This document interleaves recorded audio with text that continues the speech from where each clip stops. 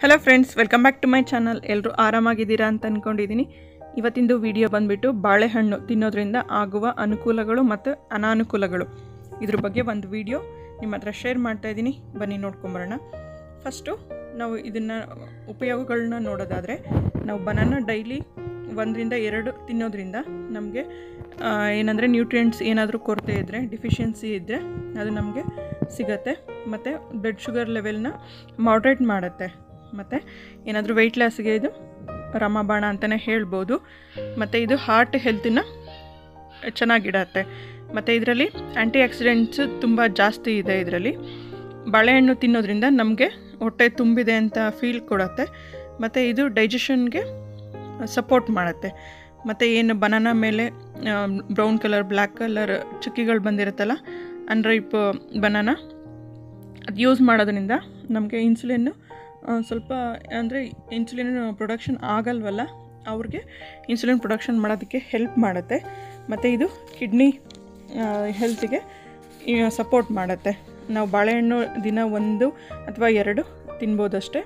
ಇದನ್ನು ನಾವು ಎಕ್ಸಸೈಸ್ ಮಾಡಿ ಆದಮೇಲೆ ಇದನ್ನು ಯೂಸ್ ಮಾಡಿದ್ರೆ ನಮಗೆ ಇನ್ಸ್ಟೆಂಟಾಗಿ ತಕ್ಷಣವೇ ನಮಗೆ ಎನರ್ಜಿ ಕೊಡುತ್ತೆ ಮತ್ತು ಸ್ಟ್ಯಾಮಿನಾ ಕೊಡುತ್ತೆ.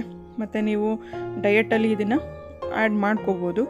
ಮತ್ತು ಇದರಲ್ಲಿ ಗುಡ್ ಸೋರ್ಸ್ ಆಫ್ ಮಿನರಲ್ಸ್ ಮತ್ತು ವಿಟಮಿನ್ಸ್ ಇದೆ. ಪೊಟ್ಯಾಷಿಯಮ್ ವಿಟಮಿನ್ ಬಿ ಸಿಕ್ಸ್ ಮತ್ತು ವಿಟಮಿನ್ ವಿಟಮಿನ್ ಸಿ ಇದೆ.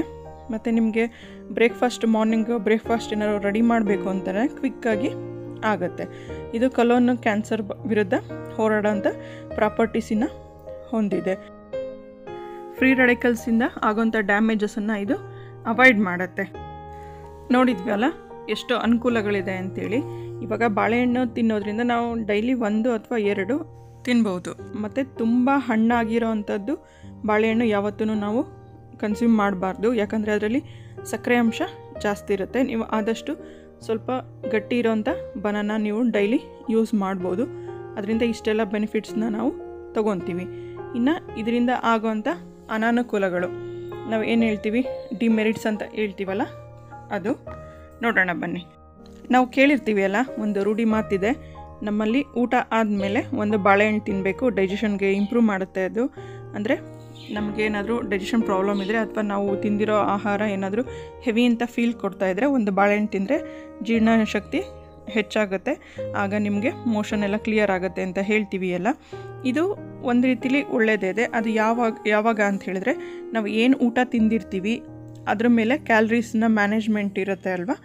ಅದ್ರ ಮೇಲೆ ಡಿಪೆಂಡ್ ಆಗುತ್ತೆ. ನೀವು ಬರೀ ಬಾಳೆಹಣ್ಣನ್ನು ಎಷ್ಟು ಕ್ಯಾಲ್ರೀಸ್ ತೊಗೋಬೇಕೋ ಡೈಲಿ, ನೀವು ಅಷ್ಟು ಕ್ಯಾಲ್ರೀಸ್ ಬರೀ ಬಾಳೆಹಣ್ಣು ತಿಂದ್ಬಿಟ್ಟು ತೊಗೊಂಡಿರ್ತೀರ ಆಲ್ರೆಡಿ. ಅದು ಆದಮೇಲೆ ಮತ್ತು ಅದ್ರ ಜೊತೆಗೆ ಊಟನೂ ತಿಂದಾಗ ನೀವು ಲೆಡ್ಡಲ್ಲಿ ಏನಾಗುತ್ತೆ, ಶುಗರ್ ಕಂಟೆಂಟ್ ಜಾಸ್ತಿ ಆಗುತ್ತೆ. ನಮಗೆ ಎಕ್ಸಸ್ ಆಫ್, ಏನು ಶುಗರ್ ಕಂಟೆಂಟ್ ಬ್ಲಡ್ಡಲ್ಲಿ ಫಾರ್ಮ್ ಆದ ತಕ್ಷಣ ಅದು ಕೊಲೆಸ್ಟ್ರಾಲ್ ಆಗಿ ಕನ್ವರ್ಟ್ ಆಗುತ್ತೆ. ಆಗ ಏನಾಗುತ್ತೆ, ನಮ್ಮ ದೇಹ ತುಂಬ ಅಧಿಕ ಬೊಜ್ಜಿಂದ ಕೂಡುತ್ತೆ. ಹಾಗಾಗಿ ನೀವು ಬಾಳೆಹಣ್ಣು ತಿಂತೀರಾ ಅಂತ ಆದರೆ ಕ್ಯಾಲ್ರಿ ಡಿವೈಡ್ ಮಾಡಿಕೊಂಡು ನೀವು ದಿನದಲ್ಲಿ ಎಷ್ಟು ಕ್ಯಾಲ್ರೀಸ್ ಬೇಕೋ ಅದನ್ನು ಡಿವೈಡ್ ಮಾಡಿಕೊಂಡು ಅದ್ರ ಜೊತೆಗೆ ನೀವು ಬಾಳೆಹಣ್ಣು ತೊಗೋಬೇಕು. ಅದರ್ವೈಸ್ ನೀವು ಯಾವ್ದಾದ್ರು ಒಂದು ಸ್ಕಿಪ್ ಮಾಡಿ ಬಾಳೆಹಣ್ಣು ಮ್ಯಾನೇಜ್ ಮಾಡೋ ಥರ, ಅಂದರೆ ಕ್ಯಾಲ್ರೀಸ್ ಟೋಟಲ್ ಪರ್ ಡೇ ನಿಮ್ಗೆ ಎಷ್ಟು ಕ್ಯಾಲ್ರೀಸ್ ಬೇಕೋ ಅಷ್ಟನ್ನು ಮಾತ್ರ ಕನ್ಸ್ಯೂಮ್ ಮಾಡ್ಬೋದು.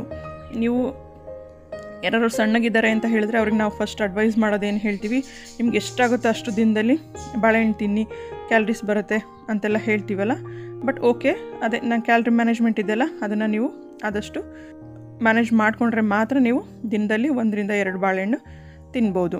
ನೀವು ಇವಾಗ ಏನಾದರೂ ಶುಗರ್ ಪೇಷಂಟ್ಸ್ ಇದ್ದರೆ ಅವ್ರಿಗೂ ಅಷ್ಟೇ ಇದು ಅಧಿಕ ಬಾಳೆಹಣ್ಣು ತಿನ್ನೋದ್ರಿಂದ ಅವ್ರಿಗೆ ಒಂದು, ಎರಡು ಬಾಳೆಹಣ್ಣು ತುಂಬ ಹೆವಿ ಅನಿಸುತ್ತೆ.